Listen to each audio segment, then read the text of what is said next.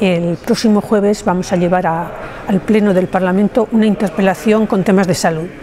Estamos muy, muy preocupadas por la deriva que está tomando el tema de la salud en Navarra.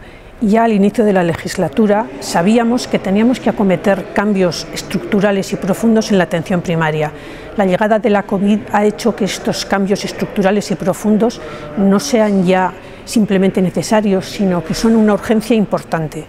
También vamos a comentar las otras lecciones aprendidas que nos ha traído la pandemia, que tienen que ver con la salud mental, que tienen que ver con el espacio sociosanitario, ese espacio en el que tantas personas mayores sufrieron en la pandemia y en la que realmente tenemos que profundizar en la próxima legislatura. Y también vamos a hablar de las listas de espera. Por supuesto que habría muchísimos más problemas de salud que habría que acometer, pero realmente creemos que estos cuatro son los más urgentes, los que necesitamos acometerlos y los necesitamos ya.